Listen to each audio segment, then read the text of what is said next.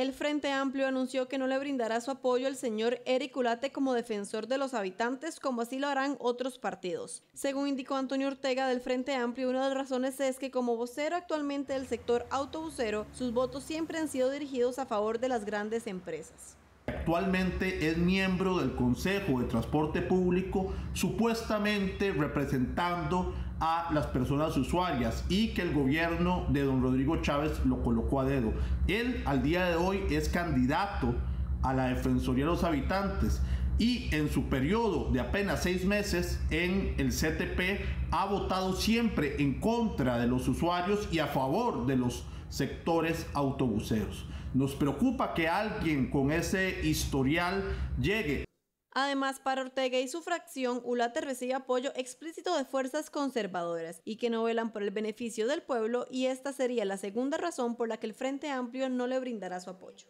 La Defensoría de los Habitantes no puede ser tomada por el sector autobusero, por los sectores negacionistas, pero tampoco por el sector ultraconservador que todos los días quiere proponer y hacer crecer el discurso del odio. Una candidatura de este tipo no solo está en contra de los usuarios, en contra de los derechos humanos, sino que también está en contra de las libertades individuales de todas y todos los costarricenses. El Frente Amplio por parte del legislador Ortega anunció que en los próximos días el partido político explicará a quién le brindarán su apoyo y en qué se basan para tomar estas decisiones.